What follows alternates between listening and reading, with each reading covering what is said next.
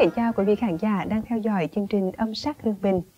Thưa quý vị, ca Huế, một bộ phận âm nhạc đặc sắc có ý nghĩa quan trọng trong tổng thể nền âm nhạc cổ truyền Việt Nam.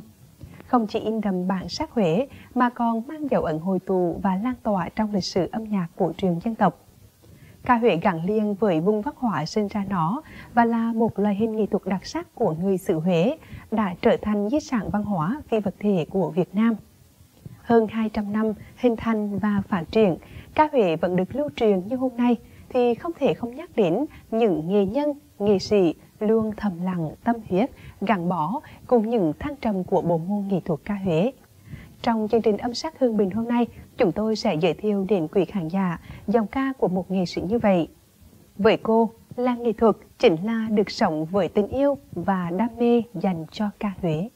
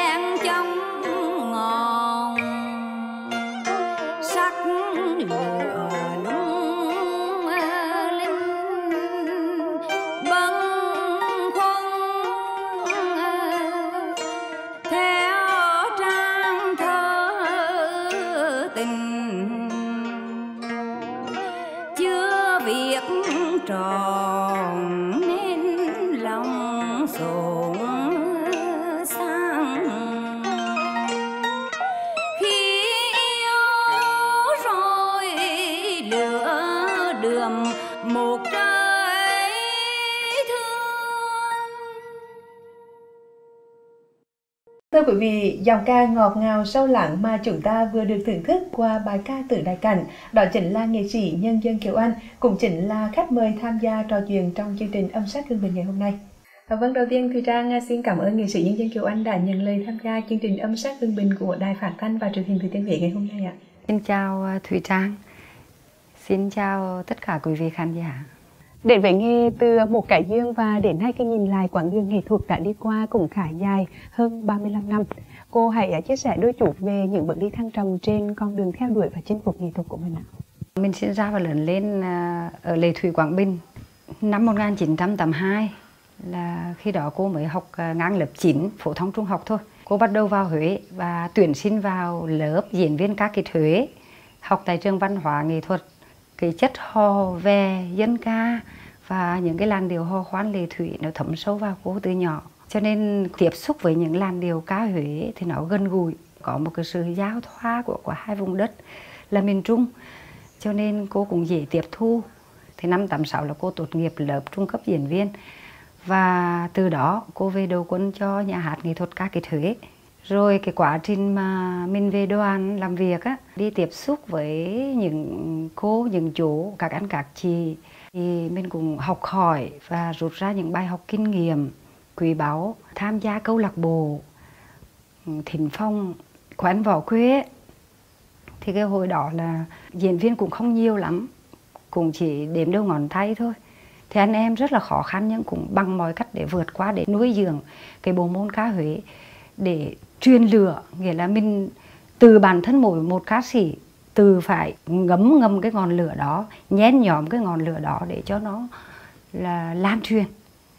À, riêng về sân khấu ca kịch Huế thì cô là một trong những diễn viên được thừa hưởng cái sự chuyên nghề như nghệ sĩ ưu tú mồng Điệp nghệ nhân ưu tú Kim Oanh nghệ nhân ưu tú Hồng Tuyết. Đấy là những bậc thầy gào cội ở trong cái bộ môn ca kịch Huế thì tất cả những cái làn điệu từ cái luyến lấy cho đến ờ, nhà chữ nhà âm thế nào cho nó tròn trịa, cho ra Huế, thì thừa hưởng được của các thầy đó. Thì đó cũng là một cái hành trang hành trang rất là quý báu để mình lấy từ đó để mình phát triển thêm cái của mình và để trở thành Kiều Anh hôm nay. À, vâng, bên cạnh sự thành công với à, bộ môn ca Huế thì cô còn là một trong những diễn viên ca kịch gạo cội của đoàn ca kịch Huế. À, người ta cho rằng với nghệ sĩ ngoài tổ chức học hành rèn luyện, muốn làm nghề thành công phải đắm đuổi và say mê với nghề. Cô suy nghĩ như thế nào về điều này ạ? Đối với nghề ấy, mà riêng cái sự đắm đuổi và cái sự say mê cô nghĩ rằng là vẫn chưa đủ phải thực sự yêu nó và thực sự tâm huyết. Từ cái chỗ tâm huyết đó thì nó mới mới mới hướng tới những cái điều là mình mới tha thiết về nghề. Nó tâm huyết, nó cháy bỏng. Tức là mình làm nghề, mình không hề suy nghĩ gì đến thời gian. Và trên sàn diễn, bộ môn các cái thuế, thì nó phải chắt chiêu. Tất cả những cái điều đó, nó chắt chiêu từng tí một để nó nuôi cái cái lửa ở trong người là một nghệ sĩ bất cứ lên sân khấu, cho dù nhỏ hoặc sân khấu lớn, nó cũng phải mang cái lửa ở trong người. Thì từ đó, nó mới thổn thức được và nó nuôi được cái hy vọng đó dài dài được. Cô đến với bộ môn ca Huế, nó rất là tự nhiên. Nhưng đến khi tiếp xúc với ca Huế rồi thì cảm thấy nó rất là gần gũi và cảm thấy như mình sinh ra để hát những cái lời ca Huế cô đã đứng trên sân khấu như vậy là 35 năm rồi, nhưng mà cái cái ngọn lửa nó cứ luôn luôn cháy bỏng ở trong cô và rất tha thiết, muốn làm nghề rất tha thiết được hát. Đấy và được hát đó là điều hạnh phúc nhất đối với cô.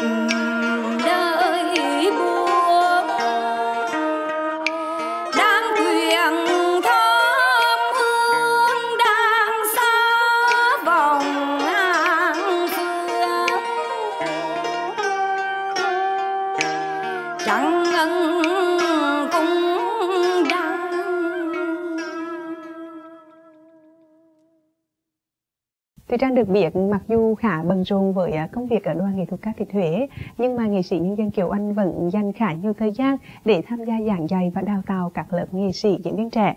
Điều mà cô mong muốn lớn nhất khi truyền nghề cho các lớp trẻ là gì ạ? khi mà truyền nghề cho các em điều cô mong muốn nhất là các em phải tiếp thu tiếp thu tất cả được những cái lời ca phải mang những cái sắc thái khi biểu diễn phải đi theo cái tính chất của bài hát, phải thể hiện cho đúng rõ nét của cái bài bản đó.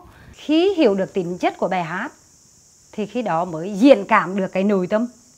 Cô ví dụ như là khi bài từ đài chẳng hạn thì nó nó buồn nó buồn theo cái kiểu buồn, nó nó hơi sang trọng một chút. Thì khi người ta hát thì người ta biểu diễn ví dụ, trăng kia tăng sao đường xa cái biểu cảm của mình nó hơi nó nhẹ nhẹ như thế thôi. Nhưng mà cái bài Nam Ai chẳng hạn cái bài Nam Ai thì nó buồn mà nó gọi là ai oán. Cái nỗi ai, ai oán đó nó chất chồng thì phải tính chất của nó phải biểu hiện như thế nào? Bơ vơ thân gái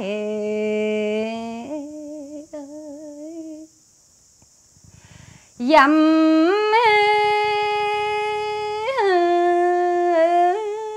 trường khổ những trăm đường cô ví như vậy. Thì là tính chất để thể hiện cái tính chất của bài hát đó thì buộc cái tâm hồn mình phải thể hiện đúng cái tính chất đó rồi mới lên sân khấu. Thì khi khi đó mới tỏa được tỏa ràng được cái từ khuôn mặt cho đến cái hình thức bên ngoài. Nó mang một cái nỗi niềm tính chất của bài hát đó để cho đi đúng hướng. Điều cô mong muốn là các em uh, sau này tiếp nối là thế hệ trẻ cô chỉ mong muốn làm làm sao đó hát hò và tất cả mọi cái trong bài bản đều phải nắm chắc và để mà giữ gìn cái bộ môn truyền thống của mình và phát triển thêm nữa là hiện tại bây giờ thì bộ môn ca Huế đã là à, được ờ, công nhận là di sản của quốc gia nhưng à, ngày một ngày hai mình phải tiến tới mình phải nuôi hy vọng đó là đến làm sao đó được UNESCO công nhận là di sản văn hóa phi vật thể của nhân loại thì đó là điều cô mong muốn nhất. Theo cô thì chúng ta nên làm gì nữa để dòng chảy của âm nhạc truyền thống Huế, của ca Huế vẫn mãi được lưu truyền và phát triển xứng tâm với những gì vốn có? Mong muốn cái bộ môn ca Huế được phát triển, cái điều quan trọng không kém đó là người nghệ sĩ điều đầu tiên là phải mang đầy đủ cái kiến thức, học rất nhiều bài bản về nghề, rồi phải chỉnh chu cái hình thức bên ngoài làm sao đó cho nó đẹp, nó sang trọng mỗi khi xuất hiện trước du khách.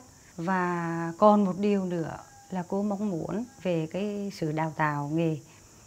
Hiện tại bây giờ trên tỉnh mình thì trường văn hóa nghệ thuật của tỉnh cũng đang đào tạo rất nhiều thế hệ diễn viên. À, nhưng mà cô nghĩ bây giờ rất là khó khăn trước mắt là muốn được có cái đầu vào, muốn tuyển các em vào để um, có những cái thế hệ trẻ để mà kế tiếp á, kể cần kể cả bộ môn ca Huế, kể cả bộ môn ca kịch Huế thì nó phải có đâu đâu ra. Cho nên là cũng chỉ mong muốn làm sao phải có một cái cái cơ chế mở, thì khi đó mới thu hút được về cái bộ môn ca Huế và cái bộ môn ca kịch Huế. Thì sau này mới có các em thế hệ trẻ mới phát triển nổi giỏi được. Phải có một cái hướng đào tạo như thế nào đó để các em nắm bắt và các em phải có một cái bài bản, gọi là bài bản chính thống. Thì khi đó thì nó khỏi bị mai một. Có lẽ rằng con đường theo đuổi và chinh phục nghệ thuật của nghệ sĩ nhân dân Kiều Anh đã được đánh dấu với ờ, những bước đi thăng trầm và không ít những kỷ niệm vui buồn. À, cô có thể chia sẻ một vài kỷ niệm đáng nhớ nhất của mình hay không ạ? Trong cuộc đời làm nghề của cô thì từ những cái sân khấu nhỏ như là để mà đi hát cá Huế này, rồi những cái sân khấu lớn như là diễn về bộ môn cá kịch Huế thì rất nhiều kỷ niệm có những cái kỷ niệm nó khắc ghi vào trong lòng mà mình chỉ cần nghe một chút nhạc gì đó thôi thì nó là gợi nhớ lại rồi kỷ niệm thì nhiều lắm nó có những cái lúc thăng trầm có những cái lúc uh, biến động uh, có những niềm vui rồi có những nhiều nỗi buồn nhiều cái vai diễn nó ấn tượng. Và các anh các chị ở trong nhà hát thì hết sức là ủng hộ cô về bất cứ cái vai diễn nào họ cũng đều ủng hộ. Nhưng mà có một cái kỷ niệm cô nhớ mãi. Năm 2013 là nhà hát cô đi diễn ở bên ờ, đất nước Thụy Sĩ hôm đó diễn ở trên cái sân khấu mà khán giả cũng khoảng độ vài ba trăm người thôi. Thì hôm đó là nhà hát diễn à, bài châu văn. Cô nhớ là cái sân khấu và khán giả im như tờ. Thì cô và các bạn vừa hát xong bài châu văn xong thì khán giả vỗ tay liên tục, vỗ tay liên tục. Người ta vỗ tay không ngớt. Bọn cô đã đứng dậy chào rồi, nhưng mà nghỉ cũng nhanh mấy em nhảy nhau xong một cái là ngồi xuống và ta gõ tiếp. Ta gõ gõ nhạc tiếp và đánh nhạc tiếp để tiếp tục hát từ cái hầu thường trở lui. Hát từ hầu thường trở lui, kết thúc rồi. Đừng chào để xin phép cúi cúi chào để vào rồi mà khán giả cứ vỗ tay. Vỗ tay, bọn cô đi vào rồi, xong lại họ vỗ tay liên tục. Bọn cô phải đi ra lại để trân trọng chào họ một lần cuối cùng. Và cô chỉ mong muốn rằng là làm nghề mà những nghệ sĩ được biểu diễn như những sân khấu đó thì cô nói thật cũng không mong muốn gì hơn đó là kỷ niệm mà sâu sắc nhất của đời cô Vâng, và đó sẽ là tiết mục mà nghệ sĩ nhân dân Kiều Anh gửi tặng đến quý khán giả ngay sau đây.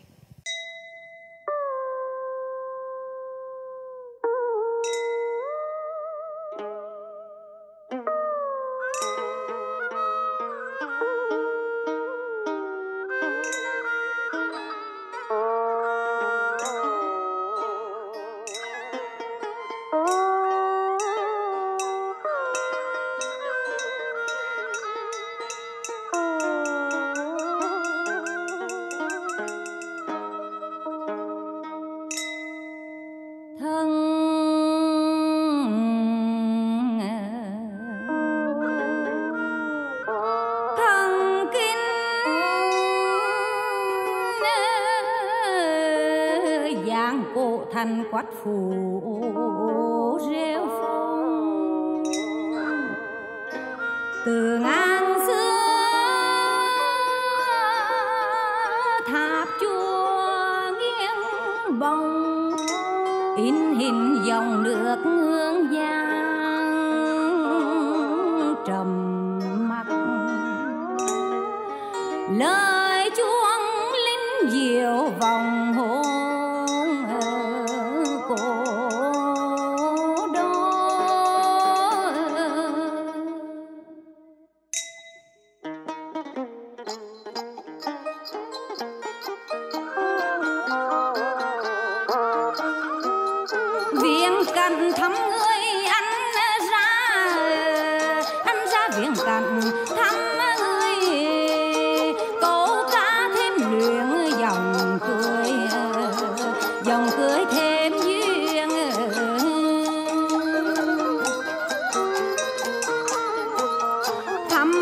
đường tin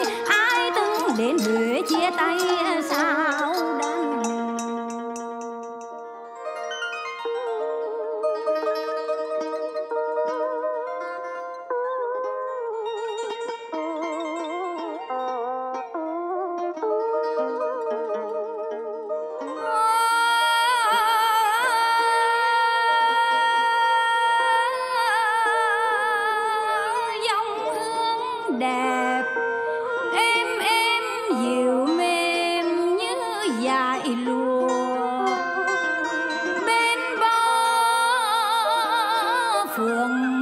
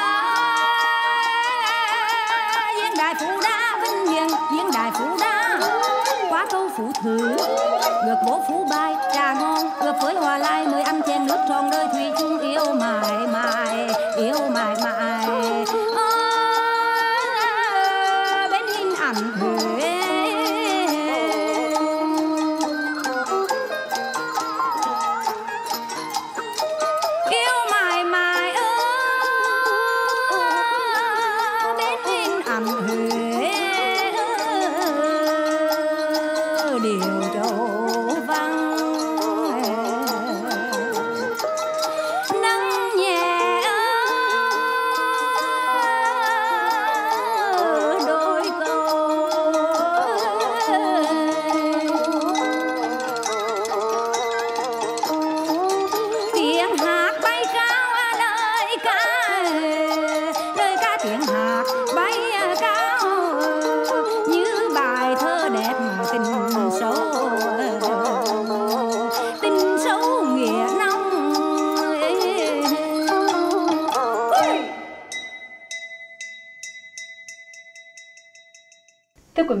hơn 35 năm gắn bó với nghệ thuật truyền thống, có lẽ rằng cho đến nay, dòng ca mượt mà trong sáng của nghệ sĩ nhân dân Kiều Anh vẫn mãi im sâu trong lòng khán giả Huế và du khách gần xa.